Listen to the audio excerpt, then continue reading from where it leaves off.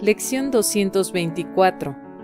Dios es mi Padre y Él ama a su Hijo.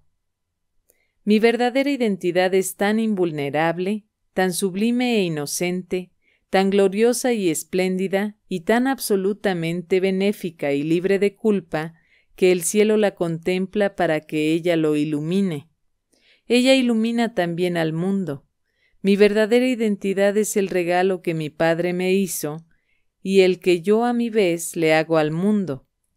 No hay otro regalo salvo este que se pueda dar o recibir. Mi verdadera identidad, y sólo ella, es la realidad. Es el final de las ilusiones. Es la verdad. Mi nombre, oh Padre, todavía te es conocido. Yo lo he olvidado y no sé a dónde me dirijo, quién soy, ni qué es lo que debo hacer. Recuérdamelo ahora, Padre, pues estoy cansado del mundo que veo. Revélame lo que tú deseas que vea en su lugar. Fin de la lección 224.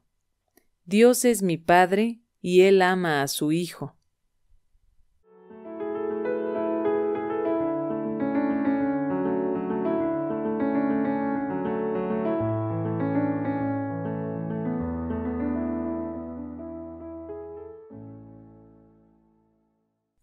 Puedes consultar las instrucciones completas para esta segunda parte del libro de ejercicios en la lección 221. Resumen de las instrucciones para la segunda parte del libro de ejercicios. Explicación en palabras de Nina. Las prácticas consisten en lo siguiente. Primero, la lectura del tema numerado que corresponde a esa lección. Por ejemplo, el tema número uno, que es el perdón, corresponde a las lecciones de la 221 a la 230. 2. Hacer la práctica de quietud de la mañana y de la noche. Las instrucciones nos indican que no nos preocupemos por el tiempo, sino que tomemos el tiempo necesario para dedicarlo a la práctica. Como sugerencia puedes tomar en cuenta las lecciones pasadas, donde se sugería un mínimo de 15 minutos. De no disponer de ellos, incluso cinco minutos son beneficiosos. Se lee la lección y luego se invita a que Dios esté con nosotros. 3. Llevar a cabo recordatorios cada hora, a la hora en punto. Puede ser un minuto de silencio, recordando el título de la lección, y recordar el pensamiento central de la lección mentalmente todas las veces que se pueda a lo largo del día. A continuación, escucharás el tema que corresponde a esta lección y la lección del día. 1. ¿Qué es el perdón? El perdón reconoce que lo que pensaste que tu hermano te había hecho en realidad nunca ocurrió. El perdón no perdona pecados, otorgándoles así realidad. Simplemente ve que no hubo pecado y desde este punto de vista todos tus pecados quedan perdonados. ¿Qué es el pecado sino una idea falsa acerca del Hijo de Dios? El perdón ve simplemente la falsedad de dicha idea y por lo tanto la descarta. Lo que entonces queda libre para ocupar su lugar es la voluntad de Dios. Un pensamiento que no perdona es aquel que emite un juicio que no pone en duda a pesar de que es falso. La mente se ha cerrado y no puede liberarse. Dicho pensamiento protege la proyección, apretando aún más sus cadenas, de manera que las distorsiones resulten más sutiles y turbias, menos susceptibles de ser puestas en duda y más alejadas de la razón. ¿Qué puede interponerse entre una proyección fija y el objetivo que ésta ha elegido como su deseada meta? Un pensamiento que no perdona hace muchas cosas.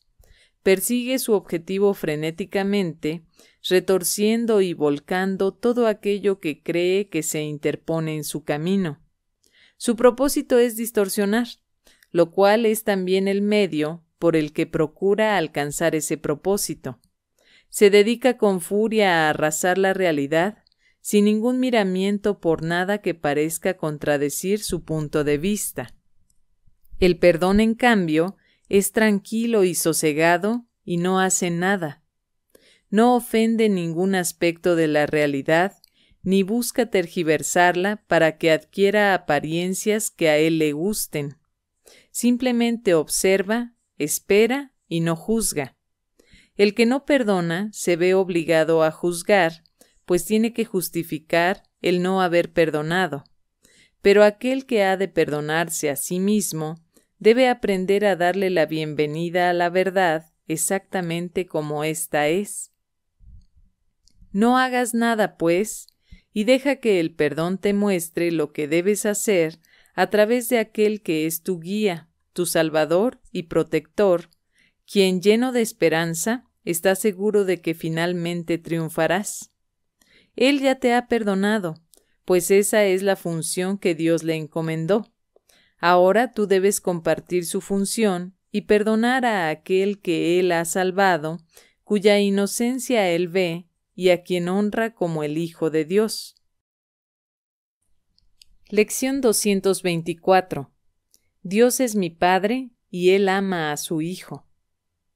Mi verdadera identidad es tan invulnerable, tan sublime e inocente, tan gloriosa y espléndida, y tan absolutamente benéfica y libre de culpa, que el cielo la contempla para que ella lo ilumine. Ella ilumina también al mundo, mi verdadera identidad es el regalo que mi Padre me hizo y el que yo a mi vez le hago al mundo. No hay otro regalo salvo este que se pueda dar o recibir. Mi verdadera identidad y sólo ella es la realidad, es el final de las ilusiones, es la verdad. Mi nombre, oh Padre, todavía te es conocido. Yo lo he olvidado y no sé a dónde me dirijo, quién soy, ni qué es lo que debo hacer. Recuérdamelo ahora, Padre, pues estoy cansado del mundo que veo. Revélame lo que tú deseas que vea en su lugar. Fin de la lección 224. Dios es mi Padre y Él ama a su Hijo.